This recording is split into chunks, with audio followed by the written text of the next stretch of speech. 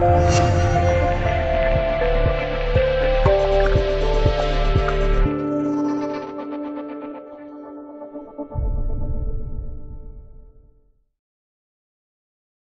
拌海带丝食材：海带丝、姜、蒜、盐、油、味精、生抽、陈醋、黑色小米椒。做法一：姜、蒜、小米椒一比一比一切碎备用。二、海带丝在水里煮十分钟左右，捞出过凉水备用。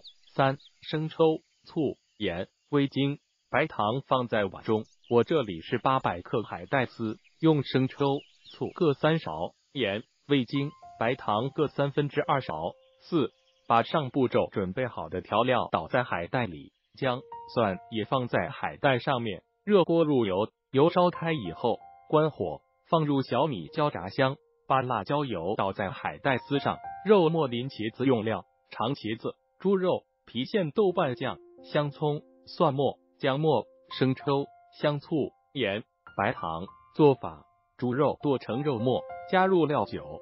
胡椒粉、生抽、淀粉抓匀，腌制十分钟。茄子洗净，切成长条，放入盘中微波炉高火五分钟，或者用蒸锅蒸熟。姜蒜切末，香葱切小段。起锅热油，加入猪肉末翻炒至断生，加入豆瓣酱、蒜末炒出红油香味，加入生抽、白糖、香醋，少许清水，大火煮煮开，转小火煮两分钟，关火，淋在茄子上。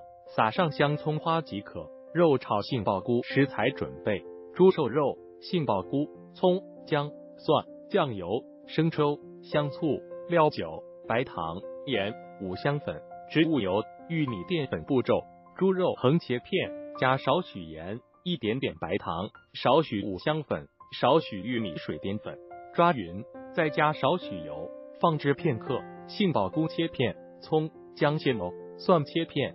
三热锅凉油，将猪肉快速化散，炒至变色，加葱、姜、蒜煸炒出香味，加适量料酒、生抽、香醋、盐略炒，放入杏鲍菇翻炒均匀，炒至全熟。中间若出水少的话，可加点水，使其适中有少许汤汁。出锅前勾薄芡。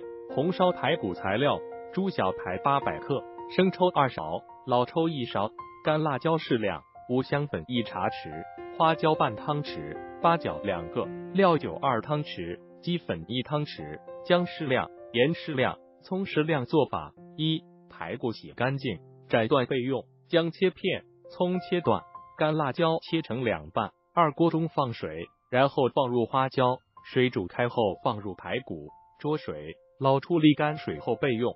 三锅中放油，放入姜葱八角爆香，然后放入排骨。炒到微黄，然后放入干辣椒，继续翻炒，直至排骨边缘有点微黄，就放入料酒，翻炒几下就沿着锅边倒入生抽、老抽，同时撒入五香粉，翻炒均匀后放入清水，刚好浸没排骨。大火烧开后，转为小火炖三十到五十分钟。四，最后排骨软熟了，就放入盐和鸡粉，翻炒一下，转为大火收汁就可以出锅了。